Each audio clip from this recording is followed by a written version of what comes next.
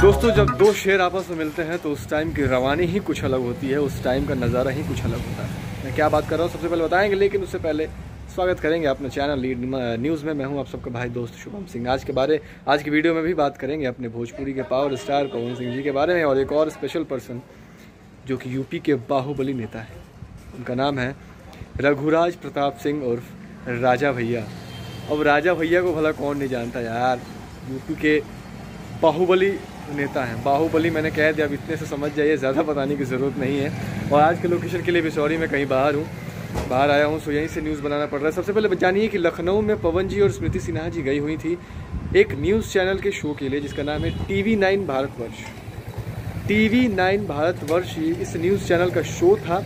कैसा शो था तो भैया होली के लिए शो था, जो कि टेलीकास्ट किया जाएगा होली के दिन T V nine Bharatvarsh YouTube channel पे।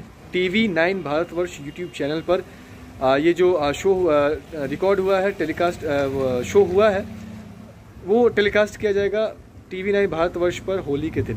बुलडोज़र से पवन जी और स्मृति सिन्हा जी की एंट्री हुई है और ये शो लाइव दिखाया जाएगा किस दिन? तो होली के अवसर पे TV nine Bharatvarsh YouTube channel पर। लखनऊ में ये शो हुआ है और लखनऊ में शो के दौरान, वहाँ से शो करके उसके बाद पवन जी मिलने गए हैं अपने बाहुबली नेता, जिनका नाम है रघुराज प्रताप सिंह उर्फ़ राजा भैया।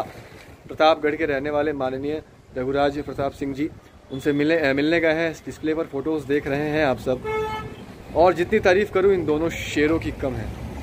एक अपना भोजपुरी इंडस्ट्री का शेर है तो एक यूपी का शेर है। और जब दो शेर मिलते हैं तो क्या रवानी होती है। डिस्प्ले पर आप फ़ोटो देख रहे हैं। मतलब क्या मस्त लग रहा है वहाँ का। स्मृति सिन्हा जी भी गई हुई हैं, राजा भैया से मिलने। और बाहुबली मैंने कहा तो अब इतने से कितना समझाओ ज़्यादा डीपली नहीं जाएँगे। मैंने इतना कह दिया, इतने से समझ जाइए।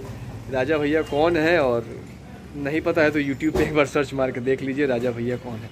तो दोनों ने मुलाकातें की, बहुत सारी बातें हुई और बहुत अच्छा लगा हमें भी। पवन जी को भी शुभकामनाएँ, राजा भैया जी को भी जीत की शुभकामनाएँ, वो जीते हैं एक बार फिर। तो ज़्यादा से ज़्यादा इस वीडियो को शेयर करें, सभी लोगों तक पहुँचाएँ। और ऐसे शुभकामनाएँ देते रहे। तब तक के लिए इतना ही। जाते जाते हमारे चैनल लीड न्यूज़ को सब्सक्राइब करें वीडियोस को लाइक करें और शेयर करें। अगर आप हमारी वीडियो फेसबुक पेज पर देख रहे हैं तो प्लीज़ लीड न्यूज़ पेज को ज़रूर फॉलो करें। धन्यवाद।